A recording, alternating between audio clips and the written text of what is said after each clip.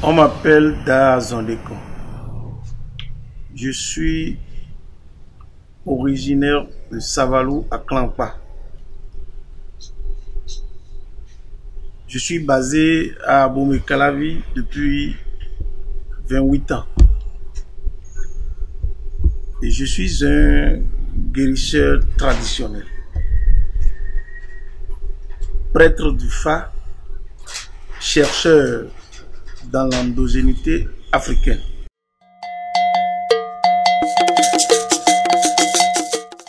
Dans la tradition africaine et précisément celle du Dahomey, le rêve c'est un message que Dieu passe aux êtres humains dans le sommeil.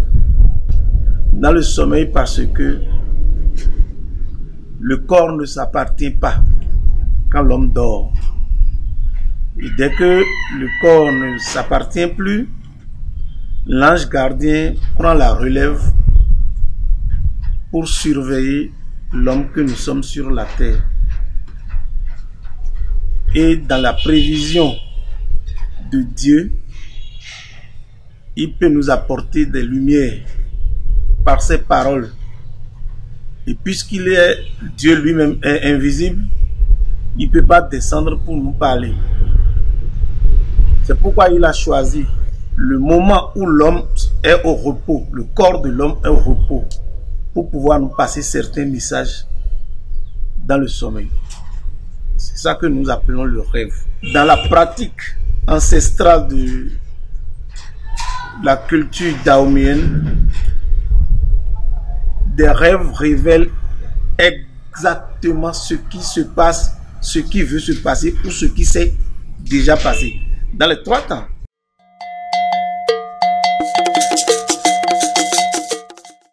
Mais lorsque vous faites un rêve, lorsque vous faites un rêve et que vous n'êtes pas en mesure d'interpréter, vous vous levez le matin, vous allez vous confier à un plus sage que vous, un plus sachant que vous. Et ce n'est pas tous les rêves que les plus sachants peuvent interpréter eux-mêmes. D'où ce que Dieu a donné pour nous guider. Et qui est le vrai messager et le seul d'ailleurs sur terre. Intervient pour nous édifier, pour nous éclairer. Je parle comme ça du fa. Lorsque des rêves vous dépassent, et dépasse aussi les sachants à qui vous allez vous confier pour leur raconter ce rêve. Ils sont obligés de vous dire, de vous orienter vers le fa. Et quand vous allez vers le fa, si le rêve, est, le rêve est positif, le fa vous le dit. S'il est négatif, le fa vous le dit et vous prescrit ce qu'il faut faire pour conjurer le mauvais sort annoncé par le, le rêve ou ce qu'il faut faire pour absolument, pour que si c'est un bonheur qui veut venir, ce qu'il faut faire pour que ça vienne effectivement.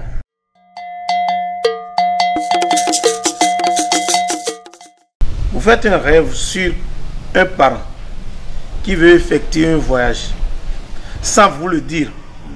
Il a programmé son voyage sans vous dire qu'il veut voyager. Et vous faites un rêve, vous le voyez dans un accident et vous refusez de lui annoncer pour qu'il prenne des dispositions qui doivent le sortir de cet accident. Vous gardez ce rêve pour vous. Et quelques jours plus tard, vous, apprenez que votre parent a voyagé et est victime d'un accident de circulation. À qui revient ce tort? Dieu vous a passé le message pour le sauver. Mais puisque vous l'avez gardé pour vous-même, le mal s'est produit. Dans un autre cas, vous faites un rêve sur l'un de vos parents, l'un de vos, fils, l'une de vos filles, cousins, cousines, oncles, tantes, ainsi de suite. Vous, êtes, vous faites un rêve sur quelqu'un ou sur vous-même et un bonheur s'annonce. Un bonheur s'annonce sur votre famille ou sur vous-même. Mais il faut consulter le phare ou il faut voir un plus sachant que vous et lui parler du rêve pour qu'il vous dise les conditions à remplir pour que ce rêve soit réalisé. Vous gardez ce rêve pour vous-même. Deux jours, trois jours, on vous annonce que un, un bonheur s'est annoncé, mais à défaut de ceci ou de cela, ce bonheur est allé ailleurs. À qui revient ce tort? Celui qui a fait le rêve et qui a gardé pour lui-même. C'est pour ces, différentes raisons-là que lorsqu'on fait des rêves, lorsqu'on fait des songes dans son sommeil, il vaut mieux en parler.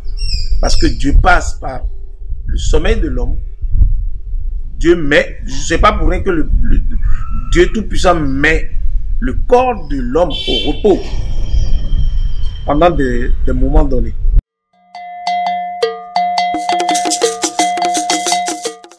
Je suis le président de l'ONG FAG, Force africaine de guérison. Je suis basé à Aboumé Calavi et pour me contacter, il suffit de m'appeler au 97 16 21 35 97 16 21 35 ou de m'écrire